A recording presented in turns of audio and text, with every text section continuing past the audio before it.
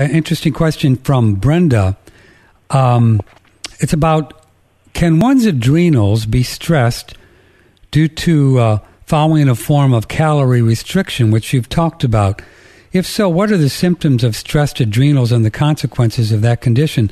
The reason for my question, I recently read an article where the author was warning of the possibility of uh, stressed adrenals if you did not eat a, a good meal in the morning from Brenda. Okay. Well, a good meal in the morning is called breaking your fast. Mm-hmm. Um, and uh, a, a, drover's breakfast is just getting up and having a pee and having a look around. um, I, I recommend people have more of a drover's breakfast. You know, uh, when you just get up and have a pee and you have a look around, and that's your breakfast. But um, there's good um, breakfast. Okay. Yes, exactly. well, um, so now um, your adrenal function requires um, various amino acids, um, and one of them that it needs is called tyrosinase. And tyrosinase is, is very important for uh, production of norepinephrine. Um, and tyrosinase you only find in vitamin C. Hmm. When you have proper intestinal flora, it produces vitamin C.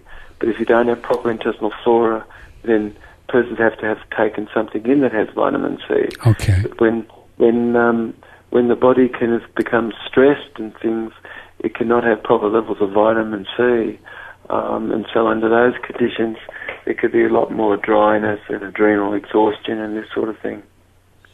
So we can say then that most of us probably do not have proper intestinal flora. So maybe the vitamin C could be good, uh, uh, food source of vitamin C of some kind, rose hips or something like that. Uh, could be good for the adrenals. Oh my God, absolutely. Yeah, like and what's that other what's that other herb that's very high in vitamin C? Um, um, um, um, um. well, the, the, highest herbs, the highest um, uh, vitamin C is just a sort of catch-all phrase to uh, um, define uh, a substance which has an oxygen mm-hmm. reduction absorbency capacity. All right. It's called an ORAC value. Mm-hmm. Um, and then the, the, fruits on the earth that have the highest ORAC value is the Tasmanian pepper, mountain pepper, which is in the thousands, thousands of, you know, times more than any closest fruit to it. And then the next is the kakadu fruit.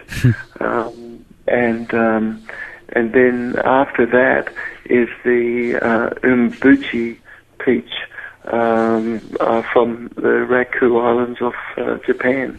um, so they are the three highest fruits in the world which have the highest oxygen reduction absorbency capacity. Um, but what about um, here in the states? What are some good sources of high ORAC for us in the um, United States?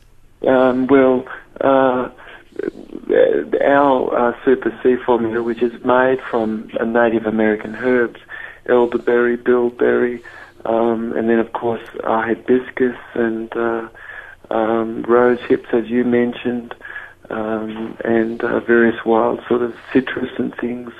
Um, um, the uh, Super C formula that we have is made up out of these things, and you can tell.